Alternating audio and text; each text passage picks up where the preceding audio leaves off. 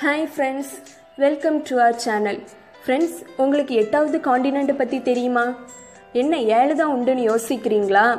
ஆமாம் ஃப்ரெண்ட்ஸ் உங்களுக்கு ஒரு குட் நியூஸ் நான் இன்னைக்கு சொல்ல போகிறேன் சமீபத்தில் நியூசிலாந்து நாட்டை சார்ந்த புவியியலாளர்கள் உலகத்தின் எட்டாவது கண்டத்தை கண்டுபிடிச்சிருக்காங்க. அதுக்கு சிலாண்டியா அப்படின்னு பேரும் வச்சிருக்காங்க.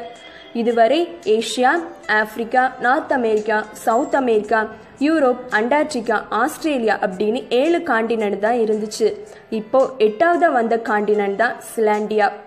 இதன் பரப்பளவு சுமார் அஞ்சு மில்லியன் சதுர கிலோமீட்டர் இந்த கண்டம் கடல்ல மூழ்கி இருப்பதாகவும் சிறிது இடம்தான் வெளிப்புறத்தில் இருப்பதாகவும் ஆராய்ச்சியாளர்கள் கூறியுள்ளனர்.